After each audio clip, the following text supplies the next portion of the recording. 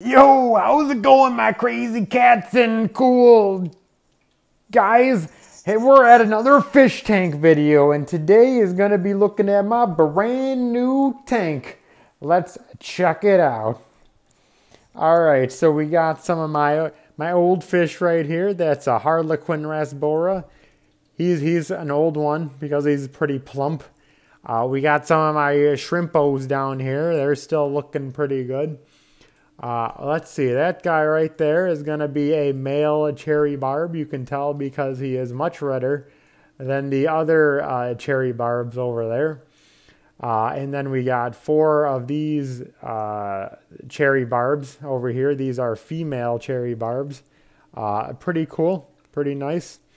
Uh, it's pre- it's pretty interesting because all of all of my fish now are schooling around, and it's pretty nice uh, we get we're getting some good uh, uh, behavior from them, and uh, pretty enjoyable to watch uh, to watch them swim around and stuff.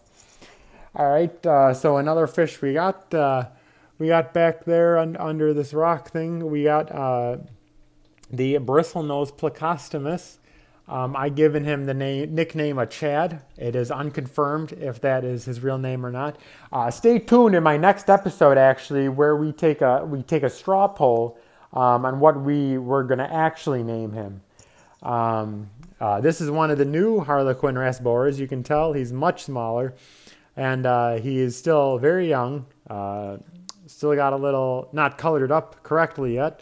Uh, we got two of two of those little small guys uh, they're all schooling around again. You know, uh, back in the right there, you got one of the um, uh, panda corydoras. We got three of them still in here, looking around for them. They're they're still swimming around, still still swimming.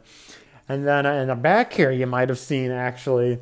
This is going to be the brand new guy, the uh, golden gourami. Uh, you can see him right Let's get my finger right down there, right there. Yeah, he's a golden gourami. He's about two, three inches right now, but uh, he's gonna he's gonna be one of the bigger boys in the tank. You know, he's gonna be about six inches. So, you know what I mean. He's gonna be eating a lot. And then uh, the last thing that I got when I went out is uh, you can see this. Oh, let's, let's fix the blinds here a little bit. Oops, sorry about that noise. Uh, you can see this plant right here. It looks a little different. Well, that's because it's a new fern we got in there. So hopefully it's going to not wilt like that one over there. You know, we got to make it looking pretty nice. So yeah, that's uh, that's my new fish tank tour. Uh, leave a leave a like below, comment, subscribe, and uh, hit that little bell notification if you want to get more videos like this one in the future. And uh, yeah, it's a pretty good looking tank. And look out for the next video where we create that straw poll. All right, well, uh, thanks for watching, guys, and I'll see you in the next one. Peace.